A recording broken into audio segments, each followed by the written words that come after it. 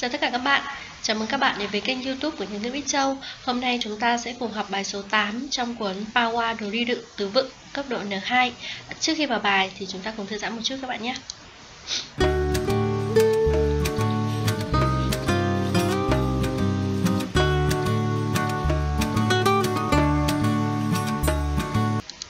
Hãy, môn đáy 1, dạng bài chọn cách đọc chữ Hán. Câu số 1 Nhi hông Nihon đi ni wa uh, mono nga sukunai to omou Chúng ta có chữ Hán này là chữ Tân, đọc là Karai với nghĩa là cay.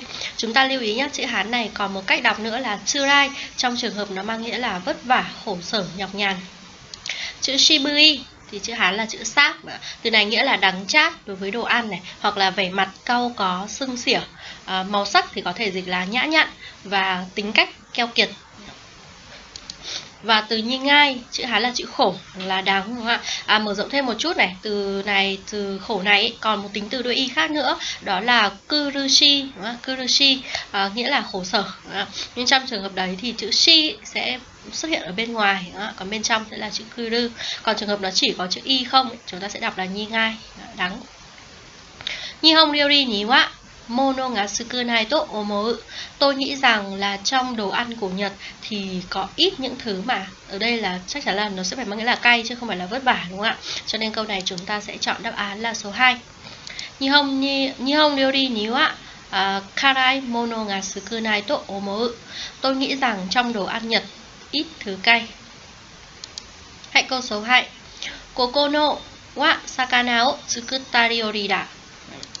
Chúng ta có chữ Hán này là chữ danh và chữ vật Đọc theo âm ông là mê bích chữ, Nghĩa là đặc sản hay là sản vật nổi tiếng. Câu này chúng ta sẽ chọn đáp án là số 3 Koko no mebutsu wa sakana o tsukutta ryori à, Đặc sản ở đây là món ăn có sử dụng nguyên liệu là cá. Hãy câu số 3 Liêu trình wa watashi mo, imoto mo, chấm chấm ni ashi soda tete kureta chúng ta có từ ai sư rự là yêu thương. Ờ, uh, soda tê rự là nuôi dưỡng. Soda tete kureru vete kureru là người ta làm v cho tôi đúng không? Tức là bố mẹ nuôi dưỡng tôi và em gái tôi. còn chữ hán gạch chân của chúng ta là chữ biodo chữ bình và chữ đẳng nghĩa của nó là bình đẳng công bằng chúng ta cần phải hết sức lưu ý nhá chữ này là chúng ta sẽ rất dễ bị đọc nhầm thành hê bởi vì chữ hán là chữ bình ý, thì các trường hợp bình thường nó sẽ được đọc là hê tuy nhiên là trong cái từ bình đẳng này ý, nó sẽ được đọc là bio nên đáp án đúng của câu này sẽ là số 4 biodo 両親は私も妹も平等に愛して育ててくれた。 Là bố mẹ yêu thương và nuôi dưỡng cả tôi lẫn em gái một cách bình đẳng. Đấy, à, môn 22, dạng bài cách viết chữ Hán. Câu số 1. Keiki ga shingo to shigoto ga nakanaka mitsukaranai. Chúng ta có từ keiki. Keiki ở đây chữ Hán là chữ cảnh và chữ khí và nghĩa của nó là tình hình kinh tế. À, còn chúng ta có động từ mitsukaranai là tìm thấy hay là tìm được. Câu này chúng ta sẽ thấy đáp án đúng là chữ cảnh và chữ khí, đáp án là số 3. Ờ, chúng ta sẽ dịch câu này là nếu tình hình kinh tế xấu thì sẽ mãi mà không kiếm được việc. Các đáp án sai chúng ta cùng xem một số từ chữ Hán đây nhé. Chữ ở đáp án số 1, hai chữ đầu tiên của đáp án số 1, chữ đầu tiên của đáp án số 1 và đáp án số 2. Chúng ta có chữ này là chữ kinh, cũng đọc là kê nhưng nghĩa của nó là trải qua. Và chúng ta có từ kê kênh chẳng hạn, đúng không? kinh nghiệm còn chữ ở đằng sau của đáp án số 2 thì đây là chữ kỳ kỳ trong kỳ hạn kỳ gen. Hãy câu số 2 Hajimete atta toki kanojo no insho wa amari yoku nakata Chúng ta có từ insho, ấn tượng. Chúng ta để ý ra kỹ chữ tượng nhé Chữ tượng này có nghĩa là con voi. À, Cho nên là nó sẽ không có bộ nhân đứng ở phía trước. À, Rất là dễ nhầm. À, Chữ tượng này là trong ấn tượng này. Hiện tượng, gensho Thế cho nên câu này đáp án đúng của chúng ta sẽ là số 1. Hajimete kanojo no insho wa amari. Tức là lần đầu tiên gặp mặt ý, thì cái ấn tượng với cô ấy là không được tốt lắm. Chúng ta xem các đáp án sai nhé. Chữ tượng khi mà có thêm một bộ nhân đứng ở phía trước thì nó sẽ biến thành tượng mang nghĩa là bức tượng và chữ này được đọc là zo, zo z. Ờ, ví dụ này chúng ta có từ sozo, tưởng tượng hoặc là từ có từ số 3 và số 4 từ đầu tiên của đáp án số 3 và số 4 thì chữ này là chữ tức nghĩa là ngay lập tức. À, chúng ta đọc nó là sô cự à, ví dụ chúng ta có từ sokuji này à, tức thời ngay lập tức. Ở trong phần nghe hiểu của chúng ta ấy thi n2 n3 n1 đúng không ạ? Chúng ta đều có phần là sokuji auto tức là đối ứng nhanh trả lời nhanh ở cái dạng bài mà có ba câu hỏi này đúng không ạ? À, ba à, đáp án ba lựa chọn đấy đúng không ạ? Đấy, câu số 3 Sonoko wa Hahaoya no te o nigite hanasadakata. Chúng ta có từ nigiru là nắm lấy. Đó. Chữ Hán này là chữ áp à, ờ, xin lỗi không phải là án. Ờ, có lẽ chỗ này bị gõ nhầm mà áp nhé chữ Hán là chữ áp nghĩa là nắm lấy. À, chúng ta có đó là số 1 này động từ atsukau chữ Hán này là chữ chát chữ này có rất là nhiều nghĩa chúng ta để ý này. Đối xử. Đối xử. À, sử dụng sử dụng thì chúng ta lưu ý là nó sẽ khác với tsukau một chút nhé sử dụng này sẽ mang cái ý là thái độ chúng ta sử dụng đối với đồ vật. Ví dụ là gì? Sử dụng một cách cẩn thận đó, sử dụng một cách thô bạo. Chăm sóc đó, chăm sóc cây cối chẳng hạn. Bán bán hay là cung cấp một dịch vụ bán một mặt hàng và xử lý vấn đề từ thứ hai từ từ ở đó là thứ hai là sẽ sư đựng chữ hán là chữ tiếp nghĩa là tiếp xúc ví dụ như là tiếp xúc với thái độ rất là chăm chỉ nghiêm túc của anh ấy thì tôi thấy mình cũng cần phải thay đổi từ số 3 thì là động từ hô rự chữ hán này là chữ quật nghĩa là đào sới đào lên và câu này chúng ta sẽ chọn đáp là số 4 Nigite Đứa bé đấy thì nắm lấy à, nắm lấy bức thư của mẹ nhé Không chịu buông Hahanote ngami Hahanote ngami Sonoko wa Hahanote ngami o nigete hanasanakata. À, Câu này như là bị thừa ở trong câu câu phía trên ấy, câu đề bài bị thừa từ từ T chỉ là T thôi chứ không phải Tengami đúng không ạ? À, mọi người xem lại và CC xem một chút nhé có thể chỗ này cũng không CC cũng không không có sách ở đây nên không rõ là Tengami hay là T nữa. Nhưng chắc nó cũng sẽ không ảnh hưởng nhiều đến việc chúng ta chọn đáp án đúng không ạ? Nếu mà là Tengami thì chúng ta dịch là đứa bé nằm lấy cái bức thư của mẹ đúng không còn nếu như mà là T không thì sẽ là nằm lấy tay mẹ không chịu buông. Đấy, môn đề 3 uh, câu số 1 Koko ni roku no suchi o kaite kudasai chúng ta có từ đầu tiên này yêu là hàng hàng ví dụ như là đọc cho tôi cái hàng đầu tiên dòng đầu tiên của cuốn sách hoặc là tôi ngồi ở trên hàng đầu từ số 2 là chữ này cũng là hành đọc là keta nghĩa của nó là ký tự số. Ví dụ đếm ấy, chữ này là có bao nhiêu ký tự này số này là có bao nhiêu số bao nhiêu chữ số. Ờ, số 3 là chữ G G nói về chữ con chữ chữ viết. Còn số 4 là chữ đăng. Cái này là bậc ví dụ bậc cầu thang ấy. Đến bậc cầu thang. Thì câu này chúng ta sẽ thấy là gì? Koko ni roku no suchio kaite kudasai ý tức là gì? Hãy viết một cái suji là một cái số một cái con số mà bao gồm 6 chữ số 6 chữ số tức là từng, từng đơn vị số 1 là cái số đấy là có 6 chữ số nên chúng ta phải chọn đáp án là số 2 keta hãy viết con số có 6 chữ số vào đây. Hãy câu số 2 Sona Nahanashio Shinyoshite wa ikenai. Chúng ta có từ đầu tiên là Ayamari Nghĩa là sai, nhầm. Đó, Chữ Hán là chữ ngộ. Itazura là nghịch ngợm. Kệt sắc cự Chúng ta có chữ Hán của nó là chữ kiệt và chữ tác Nghĩa là kiệt tác và số 4, detarame, đây là một tính từ đuôi na, có nghĩa là linh tinh, tạp nham, vớ vẩn, bừa. Ví dụ như gì? Những cái câu chuyện linh tinh, đó, chuyện chẳng hạn như là cái chuyện mà có địa bay, đó, đó là chuyện vớ vẩn, chuyện linh tinh. Um, vì không biết câu trả lời, cho nên là tôi trả lời bừa, tôi trả lời linh tinh. Sona Hanashio Shin Yoshite wa Ikenai Một cái câu chuyện như thế Một câu chuyện gì nhỉ? Một câu chuyện vớ vẩn Tạp nham linh tinh như thế Thì không được phép tin đúng không ạ? Đúng không ạ? Lại thấy ở đây có tính từ đuôi na nữa Cho nên chúng ta sẽ chọn đáp án là số 4 à, Không được tin câu chuyện vớ vẩn như thế Hãy câu số 3 Jikan ga nai no de kuwashi setsume wa Chúng ta có động từ đầu tiên là amaru Nghĩa là dư, thừa từ số 2 là oginaru, bổ sung, bù đắp, ví dụ như là bổ sung nước cho cơ thể. Từ số 3 là habukimasu, chữ Hán là chữ tỉnh, nghĩa là lược bỏ, cắt bỏ. Nguyên gốc của nó là động từ habuku. Và số 4 là động từ hiku, chữ dẫn, có nghĩa là kéo. Chika nga nai no de kuwashi setsume wa vì không có thời gian cho nên là phần giải thích chi tiết tức là tôi sẽ lược bỏ, cắt bỏ. Nhưng câu này chúng ta sẽ chọn đáp án đúng là số 3. 지각나나이 노래 그것을 스스메와 하부키마스 Vì không có thời gian cho nên tôi sẽ lược bỏ phần giải thích chi tiết.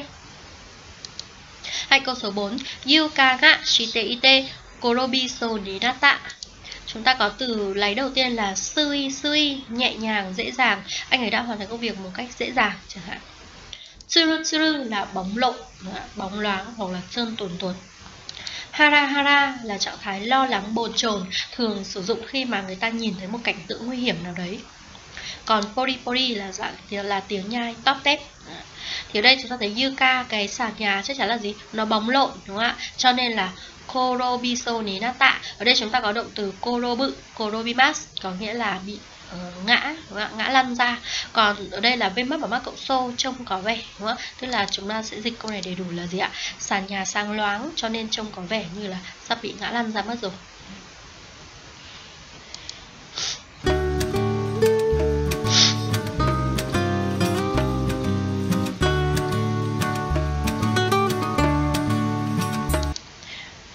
Chúng ta chuyển sang môn đề 4 ạ, cũng là dạng bài điền ô trống nhưng mà chúng ta sẽ hình thành nên một cụm từ. Câu số 1, Isongashikute kisoku naseka ga tsuzu ite iru. Chúng ta có một cụm từ đó là fuki soku, chữ Hán là chữ bất, bất quy tắc và nghĩa của nó là bất quy tắc này, không có quy củ. À, chúng ta sẽ chọn đáp án là số 1. Shingoto ga isongashikute fuki soku naseka ga tsuzu ite iru. Tức là công việc bận rộn, cho nên cuộc sống không có quy củ, cứ diễn ra triền miên. Hãy câu số 2. Shuto nhị kono kuni no jinko no yonbun no ichi ga shuchu shite iru. Ở đây chúng ta cũng có một cụm từ là shuto ken đáp án số 3 chữ 3 là chữ số 3 này là chữ quyển nghĩa của nó là vùng vùng. Số 1 nai thì là trong à, số 2 kênh chữ kênh này là có nghĩa là huyện chi ba kênh chẳng hạn đúng không ạ? Huyện chi ba. À, số 4 thì là chữ hoàn trong hoàn cảnh căng kio môi trường đúng không? Và câu này chúng ta sẽ chọn đáp án là số 3 đúng không ạ? Và ngoài ra chúng ta có thể tham khảo thêm chữ quyển này à, ngoài cái từ Token vùng thủ đô ra nó còn có thể đi trong cụm từ ví dụ như là Sekatsuken vùng sinh sống, vùng sinh hoạt của con người. Tức là cái khu vực ấy mà có con người sống thì gọi là Sekatsuken. Câu này chúng ta chọn là số 2. Shutoken ni kono kuni no jinko no yonbun no ichi ga shuchu shite iru. Và chúng ta dịch là 1 phần tư dân số của đất nước này tập trung ở vùng thủ đô. hãy câu số 3. Chunen buri ni atta futari wa daki yorokonda. Chúng ta có từ Junen tức là 10 năm rồi mới, suốt 10 năm rồi mới, tức là gì ạ? suốt một khoảng thời gian là 10 năm thì mới lại có một việc gì đúng không? Đây là Junen Murini Atta tức là 10 năm rồi mới gặp. À, chúng ta có động từ ở đây là đa cự hoặc là y đa cự. Từ này có hai cách đọc nhá chữ Hán là chữ bao, à, nghĩa của nó là ôm hoặc là ôm ấp và ấy, đọc là đa cự thì thường nó sẽ là hành động ôm theo đúng nghĩa đen tức là ôm ai ôm người còn y đa cự thì thường sử dụng trong đọc trong trường hợp mà khi mà là ôm ấp những cái như là hoài bão ước mơ Ngoài ra thì từ ở ờ, cái chữ bao này cũng có một động từ khác nữa đó là động từ kaka eru. Từ này cũng khá là thường xuyên gặp trong GOI. Nghĩa của nó là ôm mang cái gì trước bụng. Ví dụ ờ, cái này thì không phải là ôm vào lòng nhá, mà là ôm trước bụng. Ví dụ như là gì ạ? Anh ta ôm một hộp đựng tài liệu ở trước bụng. Vâng Còn ngoài ra nó có thể trong một số cụm từ như là môn đai ố kaka eru chúng ta dịch là đang có một vấn đề. Vâng Shingoto kaka eru ôm đầu một đống công việc. Bây giờ chúng ta sẽ quay lại cái bài của chúng ta này. Động từ daki đúng không ạ? Daki này. Thứ nhất là daki ghép với a ự, daki a ự tức là ôm lấy nhau. À, chúng ta cứ hiểu là cái động từ nào mà với bảo mas cộng với a ự thì tức là hai người cùng làm cái hành động đấy hướng về phía nhau. Vâng Tiếp theo, đà kỳ cô mự. Chúng ta có từ số 3 với mắt và mắt cộng với cô mự. Thì tức là làm cái gì đấy hướng vào bên trong Hoặc là làm thật sâu, thật kỹ đúng không? Thì cái này chúng ta sẽ dịch là ôm vào lòng, ôm thật chặt, ôm ấp và từ số 4 có một từ là dakishimeru nhá. Cái này cũng là ôm chặt, ôm chặt ai vào lòng. Dạ.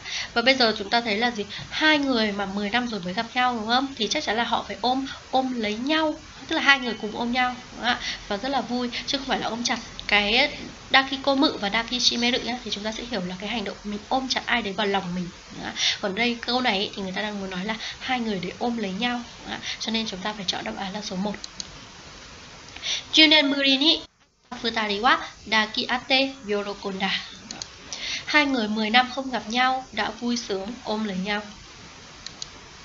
Hay, dạng bài um, chọn câu số 1 Yagate ningen ga hokano hoshi ni sumu chidai ga kuru daro Chúng ta có từ yagate, đây là phó từ mang nghĩa là sắp sửa trong tương lai, tức là gì? sắp sửa sắp tới trong tương lai tới thì sẽ có một sự việc gì xảy ra. Từ đầu tiên là ta bưng là có lẽ, đây là một câu phỏng đoán đúng không ạ? Canada dự thì là nhất định. Chi càng ta tề bà ta chữ chữ ta chữ là trôi qua chi càng ngà ta chữ là thời gian trôi qua chi càng ngà ta tề bà tức là thời gian cứ trôi qua và bài ní yốt tê ở đây chúng ta có ní yốt tề quá ní yốt tề quá là tùy từng tùy từng cái gì mà sẽ có sự khác nhau hoặc là có những trường hợp gì đấy xảy ra đúng không ạ thì đây là bài ní yốt tê chúng ta sẽ dịch là tùy từng trường hợp là sẽ thì chúng ta sẽ thấy là gì? Nhà ga t tức là một cái sắp sửa trong tương lai. Thì tức là gì? Thời gian cứ trôi qua thì vấn đề sẽ như vậy, đúng không ạ? Ở đây nó sẽ không có nghĩa phỏng đoán cho nên chúng ta sẽ không không dịch nó là, chúng ta sẽ không chọn đáp án là ta bưng được và đáp án đúng của câu này sẽ là số 3 chỉ căng là ta thể bà. Có lẽ thời đại mà con người sống ở hành tinh khác sẽ đến trong tương lai tức là thời gian cứ trôi đi thì sẽ đến cái thời điểm đấy. Hãy câu số 2. Kurai michi no saki ni bongyari to hikari ga mieta. Từ bongyari to nghĩa là mờ ảo, lơ đễnh. Ví dụ là gì? Nhìn thấy mờ ảo. Cái gì? Hoặc là gì ạ? Lơ đễnh. Trong giờ học tôi cứ lơ đễnh nhìn ra bên ngoài cửa sổ. Từ này có hai nghĩa. Đoạn số 1 thì chúng ta có akarui là sáng. Totemo chisai thì là rất nhỏ. Pika Pika là trạng thái sáng lấp lánh, lấp lánh. Và Hakiri, Hakiri là rõ ràng, Hakiri Shinai tức là không rõ. Cho nên câu này chúng ta sẽ chọn đáp án là số 4 đúng không? Mờ ảo tức là không rõ ràng. À, nhìn thấy ánh sáng mờ ảo ở phía con đường tối. Hãy câu số 3. Furui omochao collection shite iru. Collection từ này là collection trong tiếng Anh đúng không ạ? Nghĩa của nó là sưu tập, thu thập à, chúng ta có động từ đầu tiên là atsumeru thu thập tập hợp. Đó. từ số 2 là kazaru trang trí trang sức. Từ số 3 là suteru vứt. Từ số 4 là naosu sửa chữa. Thế nên câu này chúng ta sẽ chọn đáp án đúng là số 1 Đó. tôi đang sưu tập đồ chơi cũ. Đấy, tiếp theo là dạng bài chọn cách dùng đúng vừa từ. Từ đầu tiên là mushiro từ này có một cách dùng khá đặc biệt. Nghĩa của nó thì chúng ta sẽ dịch là đúng hơn là thà là. Tức là gì ạ? Ở đây chúng ta sẽ hiểu nó theo một cụm nhé a có thể có toyu yori musiro b tức là gì ạ? Không phải là a mà đúng hơn là b. Không phải là a mà thà b thì hơn. Nhá. Tức là gì ạ? Cái A ấy nó chưa diễn tả hết hoặc chưa diễn tả đúng được vấn đề. Cái B nó mới là cái quan trọng mà mới là cái mà uh, diễn tả đúng được vấn đề, nói đúng được bản chất. Và cái uh, mẫu này, cái cái từ Mushiro này ấy, là một phó từ mà rất hay đi trong mẫu câu. A tối yu yori Mushiro B. A tối yu yori B. Không phải A mà đúng hơn là B. Câu số 1 này. Chiwi sarete kanashimi toyu yori mushiro yoroku uh, ureshi katta tức là gì ạ? Bị nhắc nhở đúng không, uh, không phải là thấy buồn mà trái lại mà thấy vui thì đúng hơn. Tức là gì ạ? Cái buồn ấy nó không phải là cái vấn đề đúng, đúng không ạ? Cái đúng hơn ấy là cái thấy vui. Tức là khi mà tôi bị nhắc nhở thì không phải là tôi thấy buồn nữa mà tôi lại thấy vui. Chúng ta thấy ở đây có xuất hiện cái mẫu câu ato yori musiro b Câu số 2 Kare wa izen kara ashi ga hayakatta ga hai nhà cửa nát tạ. Tức là anh ấy từ trước là đã chạy rất là nhanh rồi, đúng không ạ? Và khi luyện tập thì chân lại càng nhanh hơn, đúng không? Chạy lại càng nhanh hơn. Chúng ta sẽ dùng một phó từ là masumasu đúng không ạ? Tức là mức độ tăng hơn. Chichi karawa hantai sarete iru ga musiro watashi wa kono daigaku ni susumetai. câu này thì ý là gì ạ? Bị phản đối từ phía bố. Thế nhưng mà Ờ, tuy nhiên, đúng không tuy nhiên, thế nhưng mà tôi lại vẫn muốn vào trường đại học này, đúng không? cái này thì chúng ta chỉ dùng một phó từ là sore demo tuy vậy, thế, tuy thế, đúng không? Câu số 4 Jikai no kagi wa raishu no suiyo desu. Mushiro shiryu wa jisang shite kudasai. Jisang tức là cầm theo, mang theo. Câu này ý là gì ạ? Cuộc họp lần tiếp theo ấy sẽ vào thứ tư tuần sau. À, Ngoài ra thì các bạn hãy mang theo tài liệu. Đây là một nội dung nhắc nhở bổ sung thêm khi mà người ta thông báo Cái này chúng ta sẽ dùng một phó từ là now, now. Nhưng câu này chúng ta sẽ chọn đáp án đúng là số 1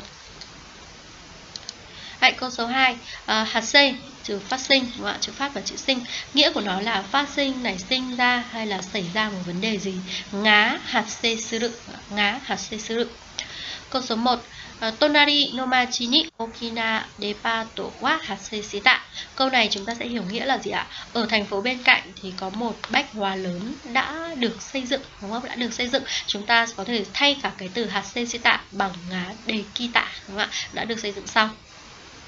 Số 2, Senkyo Dokeka Atarashi Shicho Ngạ Hase Shita. Kết quả của cuộc bầu cử thì một thị trường mới đã được đã xuất hiện đúng không? Ở đây chúng ta có thể là xuất hiện. Ở đây chúng ta dùng từ chuẩn nhất là tanjo. Từ tanjo này thì theo nghĩa đen chúng ta dịch là sinh ra, được sinh ra đúng không? Được sinh ra một thị trường mới, tức là một thị trường mới xuất hiện, một thị trường mới sẽ lên làm, đúng không? sẽ thay thế người mới đúng không? Thì chỗ này chúng ta dùng từ tanjo. Tanjo ngoài nghĩa là được sinh nở, được sinh nở ra các bạn Thì còn nghĩa là xuất hiện. Câu số 3, Hachimete no mago ga tan à, hase shitatoki wa hoto ni ureshikata. Khi mà đứa cháu đầu lòng, đứa cháu trai đầu lòng được sinh ra thì tôi đã rất vui. Ở đây thì là được sinh ra đúng không? Chúng ta sẽ dùng có thể là umareru hoặc là hase shiatanjo à, shita. Câu số 4 ạ. Kasai, Kasai là hỏa hoạn. Nga hase shitatoki wa hijoguchi kara nigete kudasai. Khi mà xảy ra hỏa hoạn thì hãy chạy thoát từ phía cửa thoát hiểm. Chúng ta thấy câu này hợp lý rồi đúng không ạ? Phát sinh xảy ra. Và chúng ta chọn A số 4.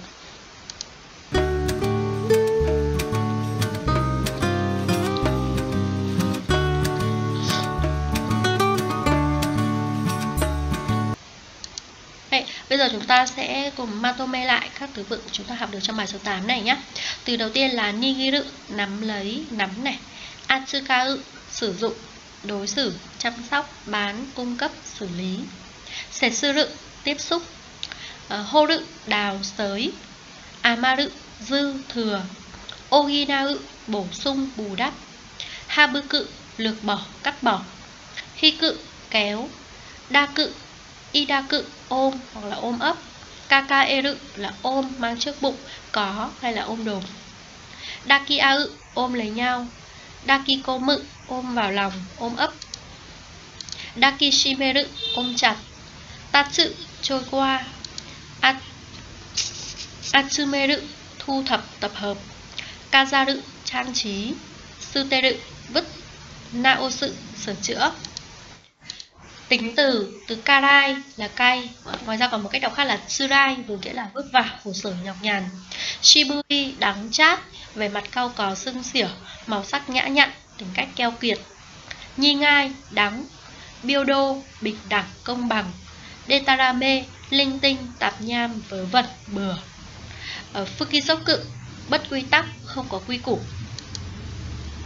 Danh từ hoặc danh động từ mê bứt sự đặc sản, sản vật nổi tiếng, Keki, tình hình kinh tế, Insho, ấn tượng, Gyo, hàng, Take, à, Aketa, ký tự, chữ số, Ji, chữ, chữ viết, Đăng, bậc cầu thang, Ayamari, sai, nhầm, Itazura, nghịch ngợm, Ketsaku, kiệt tác, Shitoken, vùng thủ đô, uh, Sekatsuken, vùng sinh sống, Hase, phát sinh, nảy sinh ra. Sui nhẹ nhàng, dễ dàng. Suru suru bóng loáng, sáng loáng, chân tuồn tuột. Hara hara, lo lắng, bồn chồn. Pori pori, tiếng nhai tóp tép. Yangate, sắp sửa trong tương lai. Ta bưng, có lẽ Kanara dự, nhất định. Bông tốt mờ ảo, lơ đễnh. Pika pika, lấp lánh. Hakiri, rõ ràng. Mushiro, đúng hơn là, thả là trong mẫu câu A tối yori mushiro B không phải là A mà đúng hơn là B. Katakana chúng ta có từ korekushon. Các bạn ơi, bài học của chúng ta đến đây kết thúc rồi. Cảm ơn các bạn đã theo dõi và hẹn gặp lại các bạn trong các video tiếp theo.